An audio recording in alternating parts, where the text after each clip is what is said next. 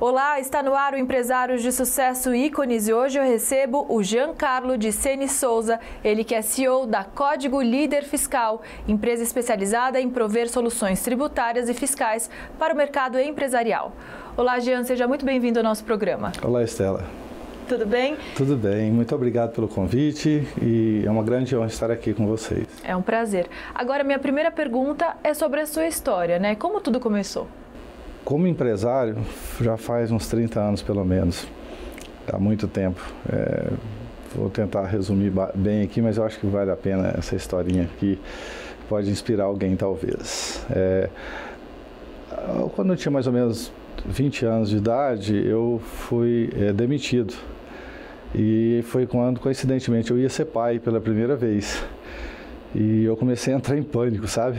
E eu falei, meu Deus, e agora? E estava uma dificuldade imensa de conseguir trabalho ou emprego, como se diz no jargão assim popular, né? Arrumar emprego. Lá na minha terra, em Minas Gerais, fala assim. Aí eu, eu confidenciei essa, essa minha angústia para um tio meu, que Deus o tenha. E ele falou, rapaz, tem um serviço é, que você recebe todo dia e começa amanhã, se você quiser. Se, se, mas só que eu fico assim meio com vergonha de falar, mas enfim. Eu falei, por favor, me fala que eu, eu começo amanhã mesmo, eu estou precisando. Aí ele respondeu para mim, vender picolé. Eu falei, tô dentro. Fui, comecei, eu, uma sorveteria num bairro muito humilde, um lugar bem simples, eu enchi o carrinho até a boca de picolés. E voltei, isso era de manhã, voltei, já estava de noite, não tinha nenhum picolé, dos quais eu não consumi nenhum. Olha só. É, e aí eu ganhei de presente do dono da sorveteria é, um pote de sorvete como recompensa. Foi o sorvete mais gostoso que eu tomei na minha vida.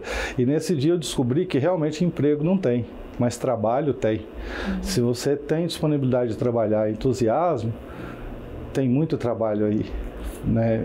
Então, é, é, isso. Essa é uma mensagem que eu queria passar Olha. sobre empreendedorismo. Né? Eu descobri é, o que é ser empreendedor com essa experiência maravilhosa. Nesse momento, e foi em Uberaba já? Foi em Uberaba, no Triângulo Mineiro. Muito bom, muito bom.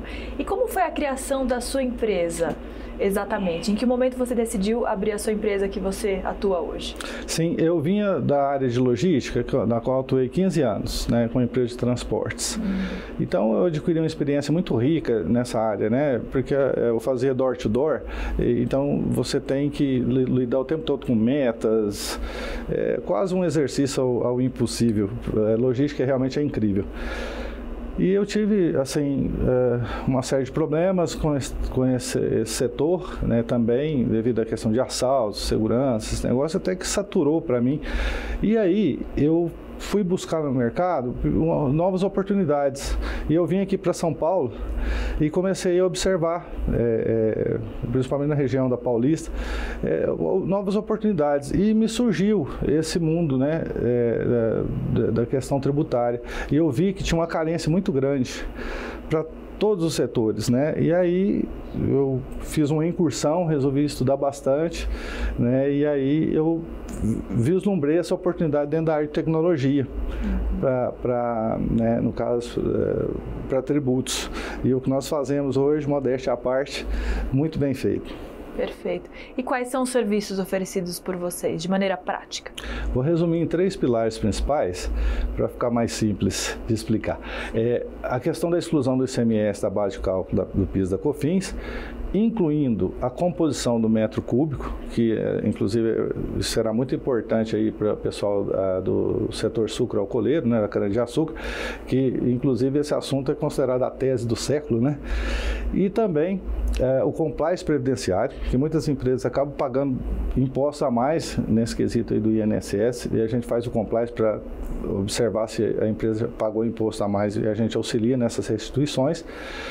Temos também a questão da portabilidade de seguros, por exemplo, o seguro dos funcionários, seguro saúde.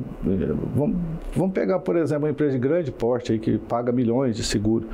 A gente faz um, um trabalho e observa se ele está pagando imposto, é, esses, no caso, esse seguro é, a mais. E talvez tem casos que a gente reduz de 10% a 20%. E ele faz uma portabilidade, igual você faz às vezes um chip de celular. Então você faz uma portabilidade de seguro. Uhum. Então isso é muito importante também e a empresa fazer essa consulta conosco, uhum. inclusive sem custo algum, a gente faz também, uhum. porque quem nos paga é, é, são as próprias seguradoras que a gente consegue fazer a portabilidade. Ficou a dica aí, né? Só nos procurar que eu acho que vale a pena. Me conta, qual que é a, qual que é a importância de se procurar profissionais com experiência na sua área? A importância é não cometer erros e muitas vezes graves, sem querer. Mas é, é, é, um assunto complexo, né? Porque o nosso Código Tributário ele é extremamente extenso. Nós temos mais de 5 mil leis né, no Brasil e praticamente 50 mil artigos. Imagine nesse universo você é, incorrer em riscos de fazer algo errado e pagar multas né, pesadíssimas ou até muitas vezes é, ser processado e isso não é bom. Então procurar uma empresa profissional é o caminho certo, né, é a prudência. Você vai ter celeridade, vai dormir tranquilo, né, e ter a certeza de que essas restituições não vão te dar dor de cabeça. Sim, com certeza.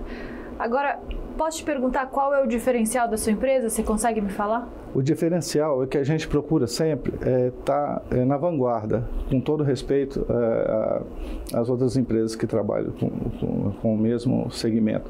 Então, a gente sempre busca estar tá investindo muito em profissionais de alto gabarito e também, inclusive, é claro, na questão dos jovens, né? Que a gente sabe que o jovem ele, ele tem uma forma de ver as coisas que ele não acredita na palavra impossível. Então, como nós somos uma, uma empresa de tecnologia, a gente está está realmente totalmente sintonizado com esse sentimento, com esse objetivo de ter vanguarda e de levar celeridade, segurança absoluta para os nossos clientes.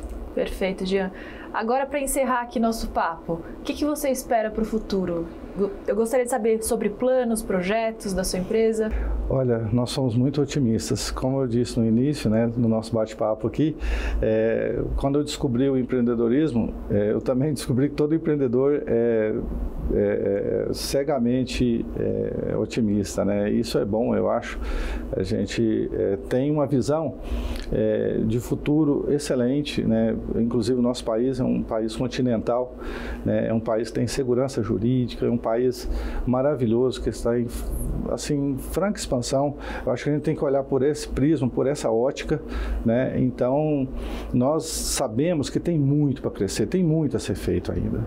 Perfeito.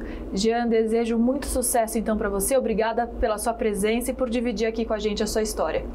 Eu te agradeço muito, Estela, pela oportunidade. E todos da, do Empresário de Sucesso e reafirmo aqui que honra estar aqui com vocês. Prazer é todo nosso. Até a próxima. No Ícones de hoje, eu recebi o Giancarlo de Sene Souza, CEO da Código Líder Fiscal, uma empresa especializada em prover soluções tributárias e fiscais para o mercado empresarial. Empresários de sucesso Ícones fica por aqui. Obrigada pela sua audiência e companhia e até a próxima. Tchau, tchau.